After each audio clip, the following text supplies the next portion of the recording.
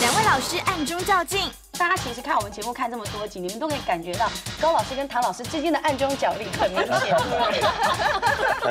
就是说，就是说，如果我们请来的男特别来宾刚好是他们的 type，那你们两个的那种，你知道，表除了表现风情之外，专业，还有你知道那种眼神，有的时候他是可以肢体碰触，你比较倒霉。啊，对，没关系，我可以眼神接触。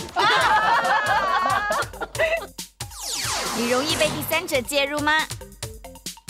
嘴巴最典型的一个就是在这嘴巴的角落这边，我们叫口角哦，口角的地方，它如果有痣的话，这种通常都是第三者介入，是非非常多。稍后告诉你哪些人容易遇到第三者。你能和情敌和平共处吗？表面和平，暗中实力哦，还是有吗？对，这个还是有暗中实力，但是表面上看到对方就是，哎，你今天气色不错啊，哎，蛮好的，你们感情听说也很好啊，等等的啊，哦，场面话还是会说一下的，等等为你揭晓答案哦。只要收看今天的节目，你就有机会得到辟邪保平安的幸福开运年，机会难得，千万别转台哦。人生好风景，时来运转任我行。大家好，我是李明一，欢迎收看我们今天的开运鉴定团。先介绍姚元浩、张俊平，Hello，大家好。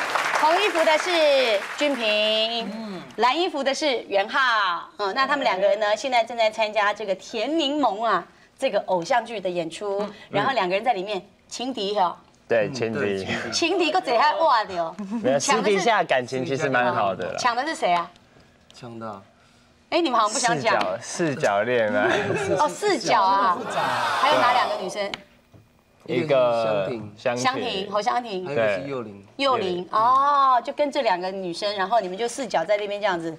哦，好，今天呢，请这个袁浩跟俊平到节目当中来呢。我们知道了，按着他们两个人在剧中的这个身份，对，所以我们也刚好呢，哎，搬上这个荧幕哈，告诉大家，事实上呢，像这样子的情敌呢，见面分外眼红，经常的发生在我们的日常生活当中。嗯，请看一下。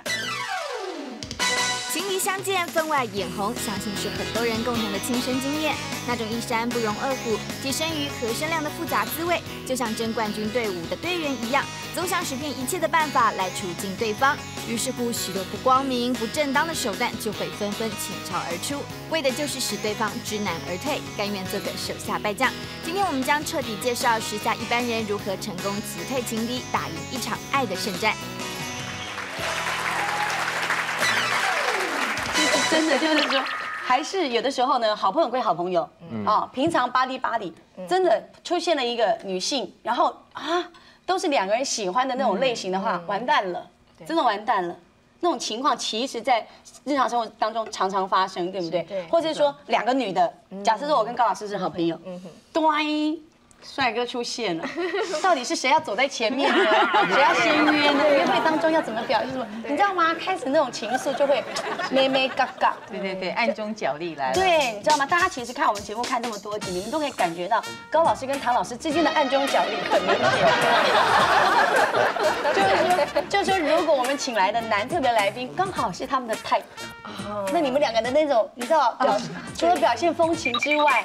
专业，还有你知道那种眼神，有的时候他是可以肢体碰触，你比较倒霉啊。对，没关系，我可以眼神接触。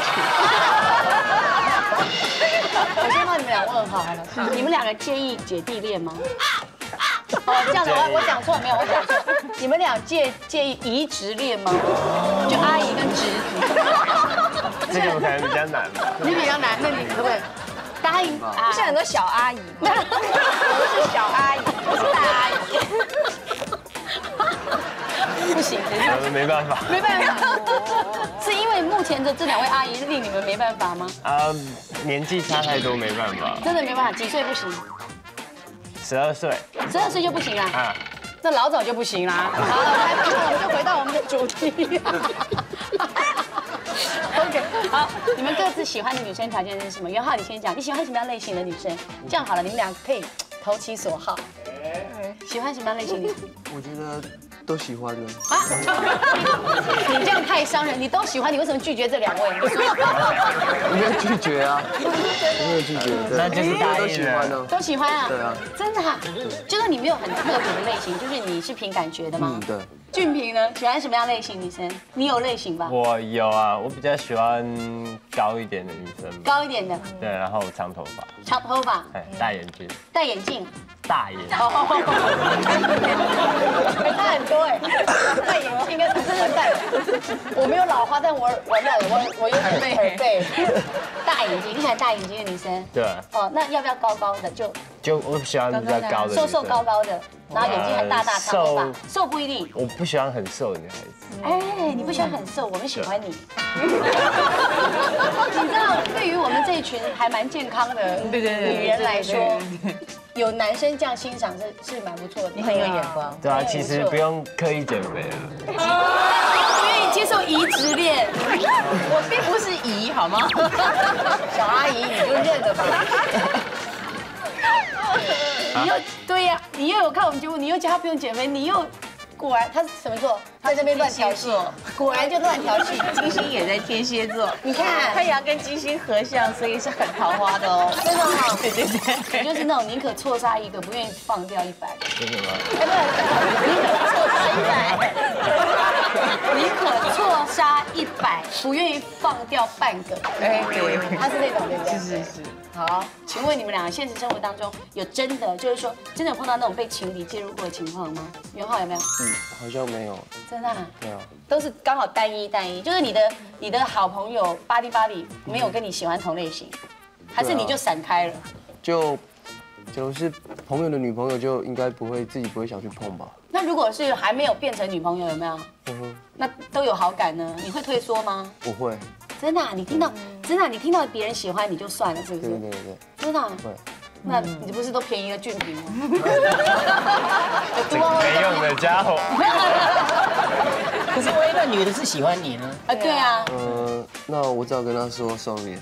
啊对那你只好嘛，接收了，是不？就是是你还是要那女生主动一点，你更明确的话，你就对不对？对啊，哦，那唐老师就是你了，哪里？我我我不想造成他们两个之间的那个美感。他们两个没在抢你啊。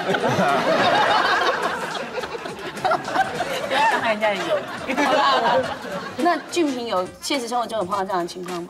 嗯，高中的时候吧，比较忙，也不是说情敌啦，就跟人家，跑了，真的啊，所以那有那很伤害很深哦，还好啦，还好，反正也不缺嘛。太骄傲了，太骄傲了太骄傲了，太骄傲。好，我们要请教黄老师了，黄老师。你准备好啊？黄老师，请教你一下，哎，什么人呢？他在感情的路上呢，他很容易被这个第三者介入，情敌注定比较多。我想用痣来表示我们这个脸上的哦痣好好。我们这个脸上的痣呢，就是嘴巴旁边跟眼睛旁边比较属于这种情敌的痣。哦因为嘴巴一方面是口角嘛你。很多位元浩，你看他好，我们先看一下这个嘴巴的好了哈是。嘴巴最典型的一个就是在这嘴巴的角落这边，我们叫口角。哦，口角的地方，它如果有痣的话，这种通常都是第三者介入，是非非常多，一天到晚可能不是介退缩就算，有些人介入就退缩，这个介入可能两个还要吵架。有争执的，有争执的哈。还有呢，一种就是在嘴唇的上嘴唇上面，上嘴唇上面这一边这个痣也是一样，啊、比较容易发生三角恋爱的事情。嗯，好，再下去呢是到人中这个旁边哈，嘴巴上面这一边的，这个呢就是中呃所谓的争风吃醋这一个字。啊，这是嘴巴的。好，那么嘴巴再看完呢，我们再看一下眼睛四周的，嗯，眼睛四周也是，那么眼睛四周的也确实不少哎。对啊，袁浩字好好多，他的字，你看他近看，哎呦，要学那叫帅了。可是字真的不少。那么这个里面呢，首先最容易出现的就是眼睛后面的，眼睛后面一般就所谓夫妻宫嘛。对那夫妻宫那边就如果有字的话，就表示说来电错误，这个是我介入人家。不是人家介入我了，是我介入人家。再次是眉毛后面的眉毛眉毛后面的呢是别人介入自己牺牲自己的啦，啊，这种也算是一种。还有一个是眼头，眼头这个地方呢，在我们人相学称为叫夫妻座。夫妻座这个位置呢，是就牵涉到婚姻纠纷了。通常来说，这个第三角恋呢不太好，会有婚姻的波折。这个就是蔡琴蔡姐嘛，哦，对，他在在眼眼是眼睛里字的对啊，我字真的。很那再就是我们看身体的痣，一个呢是胸前哈，就是我们胸胸部的前面这边，一个呢是腰子的旁边，还有一个是大腿的内侧。那么其中尤其是大腿内侧，大腿内侧的这个这种三角恋，通常是牵涉到色情了，不是纯粹的恋爱了。这边是牵涉到所谓的有点交易的到床上去了，哦，这种的三角恋了。哦啊，整个这三个都是属于比较容易发生的。很有意思哦。好，那请教你们，如果你真的在你们的感情路上杀出一个程咬金，就是第三者，你会怎么处理呢？哈，我可能会退出吧，哈，我会退出吧，你这是惹人怜，不要退出哦。你劝他干嘛？你又不知道你没有，没关系啊，我替他女朋友着急啊。真的啊，叫他不要退出，人家是喜还是会比较喜欢。对呀、你要拿出你母羊座的勇气来啊，跟他抢回来、你为什么会？想退出？我觉得，假如自己的女朋友，那就是跟第三者在一起的话，差不多也是自己很不好的时候了吧，所以我会选择退出。那俊平呢？如果是你的话，先把对方灭口，然后再。没有啊你的身材是这样，没错。没有啊，其实就看女的吧。看女的，对啊，如果他想要跟那个就去啊，反正可明明是你的女朋友，在你的女朋友任内哦，在任内 去做国民外交哦。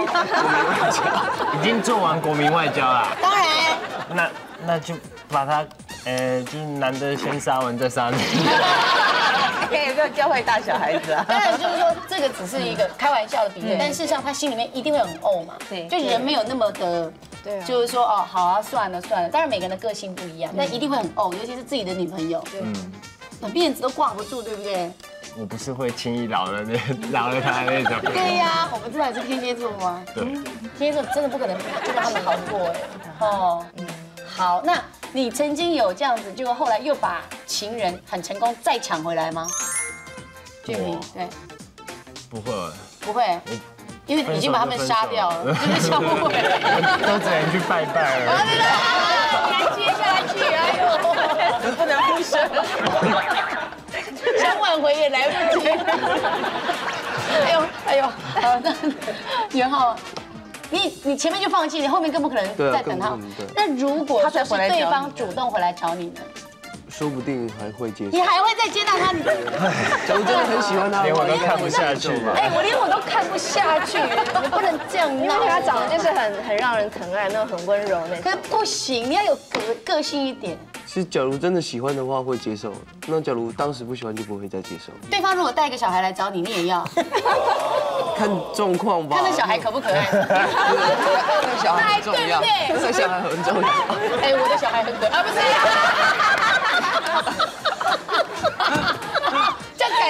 这样感觉上，哎，怎么变成在推销我？不是这样，哎，我还没离婚呢，不要不要乱来哦。啊，开一下小玩笑了哈，因为我们的难难得就在现场三位阿姨级的人物碰到 碰到两个小帅哥，我们总是心情有比较愉悦一些。我们来看看我们的开运调查局，今天要跟大家看什么呢？也就是情敌的攻防战。最近会发生肢体冲突吗？我们在做梦的时候，梦到马跑到我们的家里面进去了。通常梦到马是好事，但是马跑到我们家里面去转，或者车子跑到我们的门里面，就是跑到我们家里面的时候呢，这个时候呢，它有一种暗示，就是说你可能明天、后天会有发生跟人家打架、肢体冲突的现象。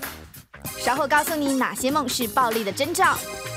下周八月三号到八月九号，我们来看一下晴天星座有哪些呢？嗯，金牛座，金牛座的朋友在下个礼拜呢，如果有一些会议要开，请尽量发言啊，你可以展现你的这个思虑的清晰以及你的新的发想啊。另外一个呢是天蝎座，天蝎座朋友在下个礼拜呢，爱情运、财运都非常的好哦，恭喜你们！呃，在打扮穿着方面呢，你也可以尽量呃年轻洋溢一点啊，而且女生建议你最好穿裙子，可以为你引来更多的好桃花哦。另外一个呢是摩羯座，摩羯座的朋友在下个礼拜可以说事业运非常的好啊，这个时候呢可以展现你的魄力来做一些整顿啊，这个整顿将会引导你呢做更好的决策。那我们来看一下情敌攻防战，第一个勇口令给。对呀，是不是？是苦肉计，我们来看一下，装可怜，博取情敌的同情，有没有碰到这种人？有有有吗？有号一定有人家用这个借口跟你聊，对，会会会有这样说。他就比你苦，就一惨就对了。说你看你条件那么好，嗯哼，你眨个眼睛。不要说小女生了，阿姨都跟你去。对对对，你为什么在意这个？你说，那你自己反而会那个，对不对？会啊会会。觉得不好意思哈。真的，俊平你就不会了。我不会，我对情侣不会心软，管他的。好，那我们看一看，刚刚呢已经得到两个非常典型的人的不同的答案。是我们现在就要请唐老师来对号入座一下，看看呢什么星座的人呢，他对情侣装可怜，最容易让对方心软，人家就啊好啦好啦好啦，你都还衰啊，K K 去赢啊。好，只有两个火象星座的人才会，哎，你装可怜，他还是会有点爽，那就是太阳金星在狮子座跟射手座的人。哦，他们的确也觉得自己很帅，他们也知道自己把妹的这个技术很高招，所以如果你去跟这个狮子座啦，还有射手座的人讲说，对呀，你条件那么好。这是这是算什么？而且其实我觉得他也没有那么喜欢你。然后呃怎么样怎么样？你技术很高超，不然你教我两招等等啊。这个狮子啦、射手啦，一时高兴之下呢，很可能就会放过你这个小可怜啊。因为他们的确想一想，嗯，自己的天空是无限宽广的啊。真的，我有遇到这样子。其实我会发现说，我们一时会觉得很高兴，可是我觉得对敌人那个心软，其实对自己非常的残忍。对，你一时很高兴，后来你答应他之后，就后悔了。对，就一直等到现在。他十几年前答应的，你看。从从从妹妹到变小阿姨，你看，就活生生的例子。但他们的确在当下真的就是没办法，就一时就就觉得说啊，对啊，然后一一被碰成也对，我是女王，我干嘛？哎呀，好好，不放给你在奴婢对呀，对对，就以前后悔到现在。对对对。好，我们再来看第二点，银弹公式。哎，五级哦，五级的代级，安娜出力嘞。用显赫的经济实力给对方下马威。嗯，我能给他幸福，你能吗？我当场就买一部跑车送他，你有办法吗？会受这威胁吗，俊平？不会吧？把他车砸了，把他戳他轮胎。没有啊，会啊，我会退缩。你你，我真的会退缩。你告诉我，你告诉我，你什么不会退缩？因为我觉得这样，你看，最重要他的经济的能力之后，他能给对方幸福。但假如你我凭，假如是我没有经济能力的话，我凭什么给对方什么样的承诺或者幸福？你比较爱他，你爱他啊。可是，而且你能力比较强啊。对，可是现实方面，你很会炒饭啊。你总有很多。那不有每天都吃炒饭？对，他有替女生女生讲说，虽然我的炒饭很好吃，但我每天也不能只是给你吃炒饭，有时候也要吃牛排哦。就是说他也要过正常的生活这样子。哦，唐老师是什么星座的情敌会被对方的金钱攻势给吓到，结果就认输啊？六级哦，对对，太阳金星位在巨蟹座、摩羯座的人，他们就会对，就会对这所谓的经济实力这个东西呢，觉得。唉，没有办法啊，这个实力就是实力，尤其是太阳金星在摩羯的人啊，他们是那种嗯阶级观念很清楚的人。如果对方真的是有钱人，这一点呢，他就是甘拜下风。嗯，而巨蟹的人呢，他们有一颗脆弱而敏感的心啊，太阳金星在巨蟹的人。你用任何理由都可以逼退他，呃，那如果是钱这个东西，说真的，他自己也会很清楚哦，就说，嗯，所谓的爱一个人，就是要给他温饱，就是要给他一个大的房子住，要给他安全感。如果他认为自己没有办法给你安全感，你要的你要的是这个，那他也就输的心甘情愿。可能搞不好以后呢，就会有有点变态啊，以后要用钱去买另外一段感情。可是这一段呢，他绝对就是愿赌服输。哦，好，那我们赶快再来看看。情敌攻防战的第三项，来用暴力恐吓威胁情敌，武装戒备来喽。嗯，两个人有为情敌大打出手过吗？没有。俊平，应该你有你你没有打过架？有打架，可是不会。不是为女生。对。哎，袁浩你？我不会，我不会找人家打架。哦。尤其是遇到大王这种对手，更不敢。算了。好，我们来请教唐老师。那么什么星座的情敌呢？面对暴力的时候，他会退出，他真的不愿意跟对方硬碰硬。好，首先呢，就是爱好和平的天秤座，哎这绝对是你要用暴力，他会觉得干嘛这样子呢？哎呦，做朋友做到这样子很没意思啊！算了算了算了，我走好了啊，说不定这个时候他就愿意放弃来跟你抢夺对方。那另外一个呢，就是双鱼座，太阳金星在双鱼座，他会觉得暴力太可怕了，有有必要这个样子吗？所以人家只要秀出拳头来。那个太阳金星在双鱼座的人呢，可能他就会赶快，呃，先找个地方躲起来啊，以和为贵，免得被扫到对，免得被扫到，因为他很清楚，他这个气势上就输人家一截。不要管他的身材是不是比较好，可是打架的时候呢，就是不够狠嘛。啊，不够狠怎么打呢？当然，对方一副很呛下的样子，就可以把天平啦、双鱼的人吓退了。哎哎，那我们要请教黄老师了。我们也知道，当然这个街头有的时候经常出现一些暴力事件，对啊，是不是呢？我们在这个呃现实生活中呢，如果会发生一些肢体冲突，在我们的梦里面，事实上是会有一些提醒的。对，有的。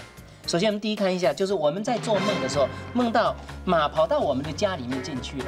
通常梦到马是好事，但是马跑到我们家里面去转，或者车子跑到我们的门里面，就是跑到我们家里面的时候呢，这时候呢，它有一种暗示，就是说你可能明天、后天会有发生跟人家打架、肢体冲突的现象，而这个现象通常常常是因为男女之间的奸情的事情而跟人家打。哎呦，好，第二个呢，就是我们讲弩弦难上或者弓弦断，古时候呢是射箭嘛，它这个东西拉不起来或者拉断了，这通常在过去的讲法都是兄弟之间的问题。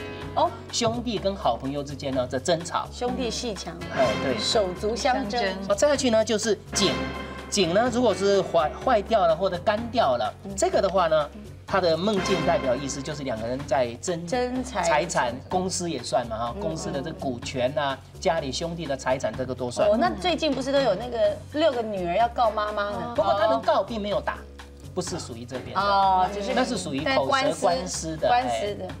好，再下去呢是泥污衣服哈，叫把这身体弄得很脏的，这种他们这应该是受辱，就是被人家骂啦，受不了了哈。这这种面子挂不住。哎，对的。好，下面呢，屋子里面生草或者仓库里面呃坏掉了这种的呢，通常就是属于钱财方面的引引起的打架。哦，好，最后床上有蚂蚁，这个也是要打的，哎第二天可能要打的。这个因为是工作上的表现，哦两个呃一言不合打起来。对的，哎。那这个是一个梦境，那当然希望大家如果你记得的话，那你就提醒自己。哦，不要太冲动，就忍一两天就过，等换别的梦的时候再来。就是说你你梦到马走进来的时候，你还先忍住，等到马它从你家走出去的时候，你再行动，对，大概就没事，对不对？对不对？好，我们再来看看呢，哎，还有什么样子的计谋呢？美人计，用什么美人计呢？美人计这样应该比较好用吧？帮情敌介绍男女朋友，对不对？嗯，对，这招厉害。元浩会不会使用？五号哦，不会。不会，你反正已经退出了，你也不他既然是介绍。，我觉得他既然是我的情敌，我干嘛还介绍女 对啊，男女朋友给他认识？可你又要退出，可是我不会啊，我不会介绍。你不会介绍，不用小人路数就对了。我也不会介绍俊，平你也不会。对啊？跟他一定不会好，跟情敌对啊当然不会好，怎么可能帮他介绍女朋友？好，那请教一下唐老师了。是，嗯，这招对谁有用？对，这招对谁有用呢？记住了，只有这两个星座，你介绍给他是有用的，那就是双子座、啊处女座。我就知道 对对，这两个星座的人呢，会因为你的介绍，哎，潜移默化当中，他嘴巴当然不会承认，他会告诉你，我我我我对他的爱永远不会变，你别想了，我怎么可能变心？可是眼看着另外一个，哎，经常打电话给他啦，或者是也蛮可爱的，身材也蛮好的啦，然后嘴巴也很甜啦，越聊越开心啦，就这样，他就开始脚踏两条船，真的哦这个时候他的战力就减弱一半，所以这个时候呢，你的计谋就慢慢奏效。如果你要安排的话，用我们天蝎座的方法，有一天就安排这一个女女主角偷偷看他们两个约会的情形，那么这两个星座的人呢就完蛋了。哎，记住了没有？记住了，好，我们再来看第五，远交近攻又是什么意思呢？就八月三号到八月九号，我们来看一下情绪动员星座有哪些呢？狮子座，狮子座的朋友在下个礼拜，如果有很多事情是无厘头的话呢，哎，希望你用幽默感来解决它啊，因为说不定会有峰回路转的可能性。另外一个呢是处女座，处女座的朋友在下个礼拜可以替自己安排一个小旅行啊，最好呢就是离家不会太远，但是又要开车的地方，让自己放轻松一点，说不定很多想法会蹦出来哦。另外一个呢是天秤座，天秤座的朋友在下个礼拜跟合约有关的事情可是都非常顺利呢。还还有在专业上呢，如果你愿意加强自己的这个努力啊，然后或者到图书馆去翻一些书，你会有意想不到的收获哦。我们来看一下阴天星座有哪些呢？母羊座，母羊座的朋友在下个礼拜有一些事情呢，可能会让你觉得啊，就快要撞到瓶颈了，或好像没有希望了。可是绝地大反攻的机会就在这样的绝处逢生的情况下产生了啊，所以可以期待。另外一个呢是双子座，双子座朋友如果不期待太多的话呢，下个礼拜其实可以过得蛮平安的。但是对你来说呢，不功就是若有所失，所以呃不要对自己要求太高哦。我们再来看第五，远交近攻又是什么意思呢？嗯，拉拢自己跟情人、亲友间的关系。哦，哎，亲友应援团，对，你们谈恋爱的时候会跟对方的家人或亲友维持很好的关系吗？很好，我会吧。你会哈？嗯俊平会不会？会吧？就认识久了，其实跟他家人就会往来对，多多少少那分开之后呢？分开当然就不会不会有再有任何关系了，那如果说对方的那个妈妈请你帮个忙呢？想都别想。所以我们要来看一下哦，那什么星座的人呢？他很善于，就是说他面对呃这种情敌来这招，是他就阵亡了，因为他完全跟对方的家庭一点关系都没有。那就是哎，这个母羊座、金牛座、水瓶座和天蝎座了啊、我们一定要讲一下哦，母羊座的人呢，也许他会跟对方，他觉得他在打成一片。可是事实上呢，他是那种很容易闯祸型的，所以其实对方的亲友呢，他是那种越靠近，搞不好人家觉得说，哎，我女儿嫁给他，或者我女儿跟他在一起好像不是很安全，所以基本上是越靠近越糟糕的那一种。那金牛座的人呢，呃，如果跟对方的家族不是很合得来，他不会手动很勤，他也不会很主动去哈拉，也不会讲漂亮的话，或者是讲好听的话，所以那一种给人家印象就是像木头一样啊、是比较木讷的那一种。至于天蝎座是那种能不去你家就不去你家，去你家也是躲到你房间里去的那一种。他只要去你房间嘛，对对对，所以对方的父母看到这个天蝎座就觉得这是不良少年你。从来也，我问你，你看我笔还弹到那边去。我问你，你是不是从来都没有看清楚我女朋友家的客厅？有有，你少来。晚上出去找水喝。对啊，晚上蒙着眼睛这样按摩摸出去找水喝，然后撞到他妈再回来睡，对不对？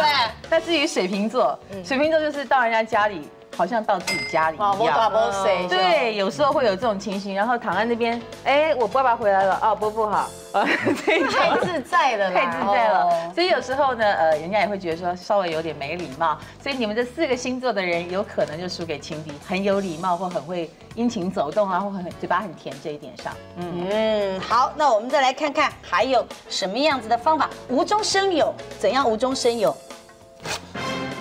散布不实的留言攻击情敌。对，这招不用白不用，哎，唐老师马上天蝎座的那个女生的那个反应就出来，这招我不用白不用。对呀，讲两句算什么？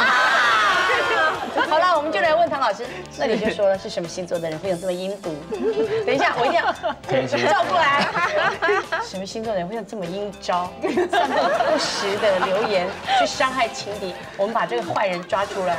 既然这个有点阴招，那当然是阴性星座比较会用哦，那就是水象星座的巨蟹、天蝎、双鱼其实都会用。都会用，对，都会用，装可怜也好，或者是呃很主动出击也好，或者是呃我听到了什么，赶快告诉你，我是为你好等等啊。基于这种理由呢，水象星座的人是会用的，以及风象的两个星座，呃双子座、天秤座，哎，这个你不是情敌，他基本上也是会传播这些谣言出来的。神经病啊！当然喽，因为风象星座你们资讯管道很多啊有时候你已经不见得是为了要打退对方了，有时候就是说我跟你讲，我跟你讲这个话呢，不是因为我要追你啊，也不是要破坏你对他的印象，而是因为基于朋友立场，我不忍心，好不好？你意思说就是天秤座的侯老师说，我跟你讲，我已经帮你卜过卦，哎，你跟他在一起不会幸福。我还帮你算过命了嘞。怎么这样？对对对，好啦好啦，我们来看啊，我们要进行的是我们的开运随堂测验啊。那我们要看看，就是说，哎，在从一个人他面对他情敌的态度上面，因为我们刚刚很明显看到袁浩跟俊平，他面对情敌的态度是完全是截然不同的，是不是可以看出他的爱情态度？我们请高老师来跟我们做一下测验。好，其实啊，呃，爱情其实如果是一一对一，其实非常的幸福啊。当当两个人同时爱上一个人的时候，其实彼此三个人都很折磨啊。所以呢，这种对的关系会因为你越爱这个情人，然后你会越恨这个情人啊。所以我们借由这个呃，当你呢呃不小心一对一的时候，看到你的情敌的时候，你的反应是什么呢？我们就可以测验出你的爱情态度到底是怎么样。好，当你一对一看到情敌的时候，就是你女朋友或者你男朋友当时不在场，对，你的反应是一仔细的打量对方，嗯，第二用冷眼死瞪他，嗯，第三尽量避开他，四言语挑衅他，五看对方反应再出招。哦，好，选择哪一个？袁浩，三，三，尽量避开他。哎 在甜柠檬里面的个性是什么？三哦，差就是这种啊。差不多吧。他们他们是按照你的，他们是按照你的本性写的你觉得你。觉得是什么？没有他在里面剧情他跟我打架，他有跟你打架，就因为已经受不了了啊。就是被逼到不行，被压抑到不行，所以才跟你打架。对啊呃，出来主持一下公道。对啊忍不住了。嗯，哦，好了，那你选什么？俊平。大我想选的不在里面，你想选哪一个？我应该会直接上去先扁他一顿再说，就是挑衅。那所以没有的话，应该是先挑衅他。挑衅他。其实你就扁他了，你还挑衅，你跟 你就不让哈拉，对不对我？不我不太喜欢跟人家那种对骂，你觉得对骂？太浪费时间太浪费。时间。果然是一头牛的作风啊。对不对？打。一对一，而且女朋友又不在，我干嘛不先打？我打了你浑身是伤再说。好啊还要跟他说我没有打过你，狠，大毛很，大毛很，大毛狠。好，潘老师选择我也是选三，三，嗯，尽量避开他。可能五，没有，你知道，唐老师是尽量避开他，但是在背后散布流言。你怎么没有那条啊？就接着接着后面避开他之后，再再马上绕过来，在下一条巷子就已经在散布流言。这样的主持人，我从来没有情敌。因为你也没有情人。你觉得唐老师，你想跟双子座斗嘴吗？你不是着完了，你自己已经知道了。好，黄老师，我是第五，第五，嗯，看对吧？哎，好，哎，看看他对我怎么样我再说看他怎么样。哎，你跟我呛呛，我跟你呛呛，你扁我，嗯，我怎样？或者你对好，哎，被推的来来推嘛，好，宽了哈。高老师，呃，我以前会尽量避开他。你以前对对，以前就是很天平的时候，现在是言语会挑衅他。言语挑衅他，对，因为我现在变瘦了。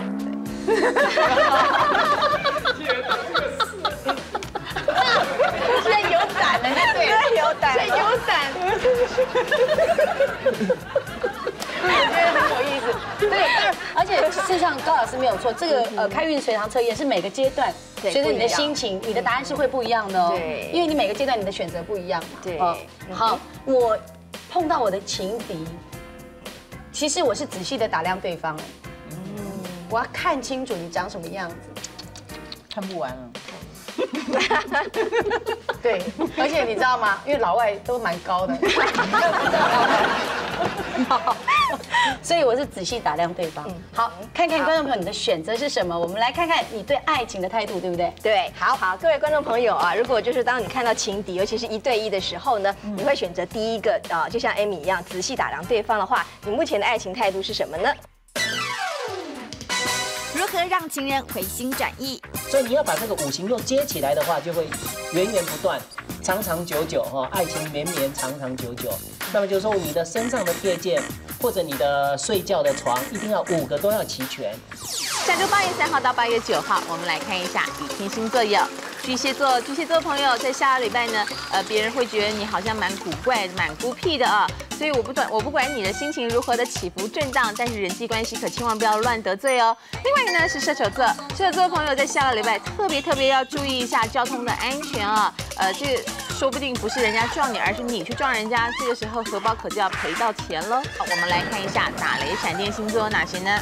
水瓶座，水瓶座的朋友在下个礼拜可能会遇到一些瓶颈和状况啊。对你而言呢，你很想突破它，但是又苦于无对策，所以这个时候不妨跟朋友商量一下，否则一个人会闷出病来的。另外一个呢是双鱼座，双鱼座的朋友下个礼拜比较会被很多状况给纠缠住哦，而且呢，呃，这个情况可能是有人对你有意见啊，所以对你扯后腿。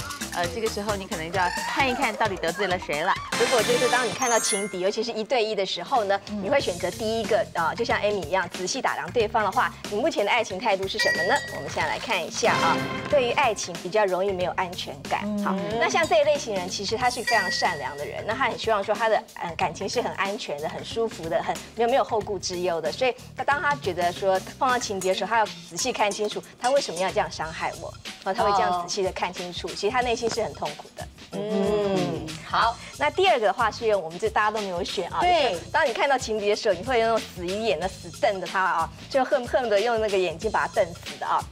那像这样子这类类型的人呢，你的爱情态度是什么呢？我们现在来看一下啊，他对爱情呢容易生气跟愤怒。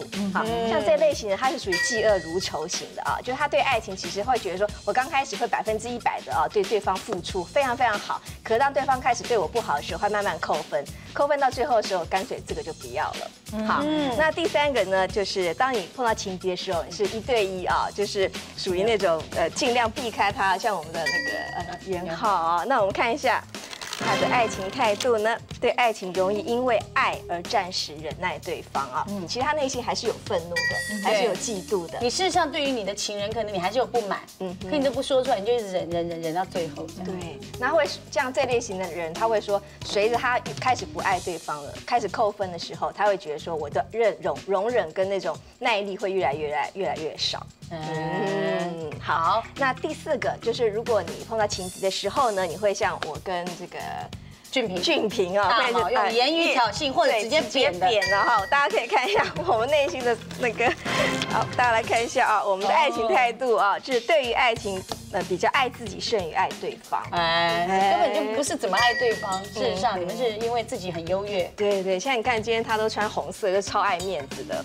好，现在大家都看得到他，其实他很棒，他内心在淌血，可他还是要哎盯着我把他扁死。其实其实被打也很痛，对，就硬盯的那种，对，死爱面子，不管。对对对对。好，那如果是像黄老师或者观众朋友选择，如果是第五的话呢？好，如果观众朋友如果看到情敌啊，会像黄老师一样，会哎看对方的反应再出招的话，你的爱情态度会是什么呢？大家看一下。对于爱情抱持着学缘不强求，嗯，你这个年纪了，你还要强求是不是？所以我觉得蛮好的，高老师都会有就常青组的答案在里面，对，隐藏其中，对，的确嘛，你因为你们比较沉稳，我觉得你们因为呃随着这个年岁的增长啊，你可能也有历练，对，你的确不会说像。少年的时候你都感冒过来，可能血气方刚嘛。对，今晚都不会嘛，今晚就看看你变安装，我就安装。对，我至少哎，我不要莫名其妙被你引的，结果我打你，我还被你告。对，对不对？哎，就比较聪明。对，他会觉得说爱情强求来不一定是好，随缘比较好。哎，OK，好，请教一下你们两位哦，有没有碰到就是那种人，是他可以跟他的情敌，还有两个人还哥们一起看电影啊，相处的非常好。这种人吗？应该还没碰到过，还没碰到过，对不对？不会有有人那么白目，有没有白目？要不然就最多像你一样就算了。就像但我要揍他。对啊，不太可能就。对啊，那我们还是要看看啊，是真的还有人可以跟情敌和平相处吗？我们来看一下第三名，哎，能和平相处的是谁呢？表面和平，暗中实力哦，还是有吗？对，这个还是有暗中实力，但是表面上看到对方就是，哎，你今天气色不错啊，哎，蛮好的，你们感情听说也很好啊，等等的啊，哦，场面话还是会说一下的，嗯，这个还蛮有风度的，那就是天平座，他就是那一种呃看情况的啊，如果你已经打他，这很典型啊，嗯，当年的那个宪哥，哎，哎，对对对对对，跟詹仁雄还可以一直一起做节目。对，一个就是天平，一个就是双子，也不啰嗦。好，所以天平座的人，嗯嗯，他还可以维持表面的和平，真的，即使私底下呢，他是心里在淌血的，他也会实力的想要把他挽回，挽不回，可是至少他面子做足了，给对方也给自己。我们看第二名是谁？互不侵犯，公平竞争，哎，看实力了啦哈。是，所以这个时候呢，他看到你，他也不是躲你，他就是不理你，但是呢，也没有必要跟你呃一对一的硬碰，这个就是。水瓶座，哎，这是君子之争啊！所以水瓶座的人呢，他们就是属于这种可以跟你在同一个空间相处，他也不会说 看到你就很生气，然后我要离职，我要干嘛？不会啊，也不会去跟你挑衅。我们来看第一名，对，谁这么厉害？胜负未定。何必难堪？哦，这就是你刚刚讲詹仁雄的星座，双子座，我就知道，是是是，真的，我们双子座不会采取那种场面难堪，对，没错，因为呢，最后鹿死谁手还不知道，对嘛？而且说不定我过了不久，我也不想这一个了，对，让给你也没关系，我还有很多机会，所以我们干嘛在这个时候撕破脸，大家难看呢？所以如果是这两个在争的话，真的，我就我们已经活生生看过一幕，这个例子很清楚，很经典。哦，而且第一名是双子，第二名水瓶，第三名天平，很明显就是风象星座的，没错，也只有风象星座才能够呃这样子。好，如果你的另外一半呢，他真的要离开你，嗯，你会用什么方法挽回他？刘浩。我觉得真的要离开的话，就让他走吧。你从头到尾都让，你知道从节目一播出到现在，哎，你们帮我数数我几个哎呦？我就他只要一回到就哎呦，看不下去。对呀，他都愿意走了，他愿意走，就随缘了。对对。啊，俊平安，这个我可能跟他一样吧。你不想挽回啊？他已经移情别恋，我就觉得没有必要了。你要走就走。他是基于善意的理由，基于备胎了，他有备胎，因为他们是觉得已经是个备胎了，对备胎。但是当然还是有很多观众朋友，事实上呢，因为呃，毕竟在一起长久啊，还是有感情的嘛，所以很希望说，不管怎么样，中间有什么过程，算了啦，我愿意挽回你。那我们在节目的最后，我们要请黄老师。教导我们，嗯，什么方法可以让我的情人回心转意？我现在今天介绍的第一个方法是目前在台湾的国中生、高中生在用这个方法。哎，但是我觉得这所有的方法在基本上是对方要喜欢你才有才有可能啊。对，说对方不喜欢你，怎么让他回心转意？这怎么样也不可能啊？所以我是介绍是一个刚刚讲过国中生、高中生，他们如果回文针、回文针的回，把它折成心的形状。哇。刚好就是回心嘛，潘老师好年轻哦，这方法。这个回纹针回心嘛，对不对？回心转意。然后这个回纹针从这个心的形状呢，你可以夹一些东西。对方当时在跟你认识的时候，一定会有一些照片也好，纪念品也好，任何的东西把它夹起来，放在我们的身上或者枕头下。哎，当然也可能把它放在他那边去也可以了哈。如果可以了，就彼此。回心回心嘛，回心转意了。第二个呢，是我从日本的那个最近的年轻的女孩子学来的一招哦，就是你要送那个男孩子，这是女孩子专门用的，送那个男孩子在还没有离开之前呢，送他一点学拔子，哦，学拔子，穿鞋的学拔子，去他家的，干脆替他家摆一个在他那边，因为呢。皮鞋这种东西或者鞋子这种东西看起来是不重要，实际上是你每天很贴心的东西，直接扎根。你每天要去摸它，要去动它。如果它真的有意思的话，它摸到你动它的鞋拔子，它会又会回来。这是日本的女孩子用的方法。第三个是我们阴阳五行的说法，在我们说人生会这种不顺畅是阴阳五行不通，金生水，水生木，木生火，火生金，五个一直在那边转。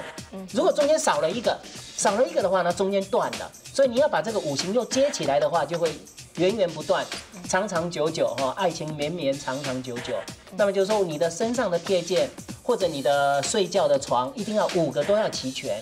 这五个的话，你可以用材质，可以用颜色各方面配合啊。那么再讲一下，如果这是金，就是要白色或者金色；木的话就是青色啊。那么水的话是蓝色、黑色。火的话呢是红色，土的话是黄色。比如说你这整个你的卧室的布置，你例如说呃随便举例了哈，你的床是木的，木头的就有木了嘛。那么上面的这个被单呐，或者是枕头套呢，可能是黄色系列。那么地板呢，或者说你的地毯呢，可能是深蓝色系列。啊，然后呢，你的窗帘可能又是红色红花的系列。反正就每一种刚好就五个都要齐全的话。它在我们生命中就源源流转，它比较不会断掉。嗯嗯，它会在如果就是断掉，赶快补回来的话，可以。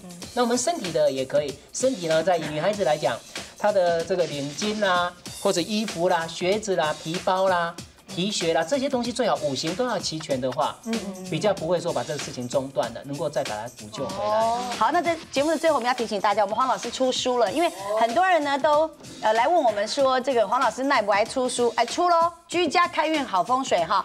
这本书呢里面呢就教我们大家，你可以很简单的在这个书里面，你就可以看到啊。双层床久住不宜呀，我随便念几张，就是我们在节目里面有教过大家的。卧室不可有两扇对外的门，我在美国家就是这样。你们要跟我一样是这样的例子吗？哎，我干嘛翻到那一页？真讨厌。好，我再翻一个啊，财位的布局。哎，对于你家里面的财位的布局，那这个书呢？哎，我们要送给你，你要打我们的开运热线，打我们的开运热线，我们就送给你居家开运好风水黄有福老师做的这个书哦。另外呢，我们还有开运鉴定团的开运平安言也要送给你，也是一样打我们的热线啊，打我们的语音热线呢。就会送给你了。好，详细的留下你的地址跟电话，很快你就可以拿到了。好，我们今天节目呢进行到这边呢，非常谢谢袁浩跟俊平，谢谢高老师，谢谢黄老师，谢谢唐老师，谢谢大家的收看，拜拜，拜拜。别忘了订阅我们 YouTube 频道，并按下铃铛收看我们的影片。想要看更多精彩内容吗？可以点选旁边的影片哦。